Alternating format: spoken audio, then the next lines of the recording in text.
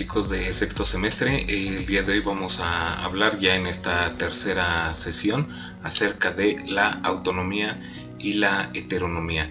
Estos conceptos ustedes seguramente ya los han revisado y los conocen. Vamos a hablar primero de la autonomía, que es esta capacidad para autorregularnos, para tomar decisiones basados en un criterio propio, eh, en no depender de alguien.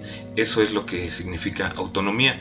Por su parte, la heteronomía consiste en que la toma de decisiones están sujetas a la voluntad de alguien más. Es decir, no es que no seamos precisamente libres, pero eh, sí muchas de las decisiones que tomamos no las tomamos porque nosotros lo deseamos, sino porque estamos sujetos a otra voluntad. Para poder explicar este concepto me gustaría que revisáramos una obra de arte. Esta obra de arte se llama El desengaño, aunque también ha pasado de forma muy famosa bajo el nombre de La libertad del cautivo.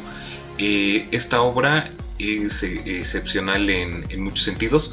Primero en la técnica está hecha en mármoles y podemos observar eh, el artista se aseguró de, poder esculpir la red sin que se quebrara un solo trozo.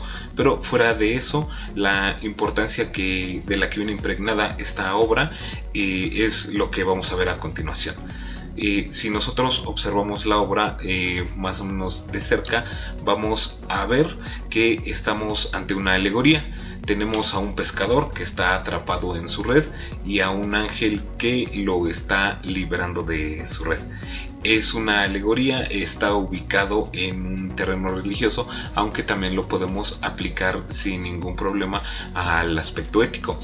Eh, esta red está simbolizando todo lo que nos aprisiona está simbolizando todo lo que, lo que no nos deja tomar nuestras propias decisiones y el ángel está representando la asistencia que todos necesitan, en este caso que puede ser de carácter religioso o bien puede ser de carácter civil, que puede ser visto como el conocimiento mismo, etcétera. Eh, en este sentido, la autonomía en esta obra se ve reflejada como parte de un binomio que es también el de la heteronomía. En esta obra vamos entonces a observar en la parte de abajo el ángel está señalando el mundo como el símbolo de las pasiones y de todo lo que el hombre debería poder liberarse viene una cita bíblica en latín que aquí como la pueden ver eh, puse la traducción y en el libro que está recargado sobre el, sobre el planeta está también escrita en latín y a un lado vienen los versículos eh, bíblicos de donde fue tomada. Eh, igual podemos seguir apreciando la técnica con la que el artista pudo plasmar esta obra.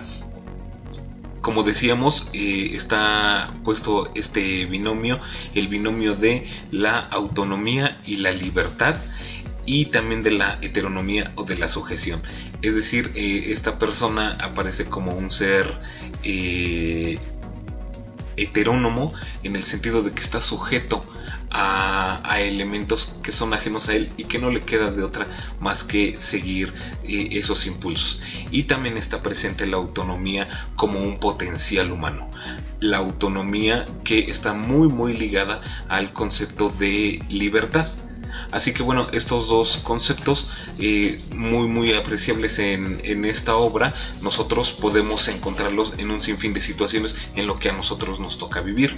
Eh, vamos a suponer que en, el caso en el que nos encontramos estamos eh, tomando nuestras clases así a través de algún video, estamos haciendo actividades en línea, etcétera, y eso escapa a nuestra voluntad es posible que lo que nosotros queremos es estar en la escuela, estar interactuando de forma normal y sin embargo eh, no podemos en este momento entonces nos encontramos en una situación de heteronomía.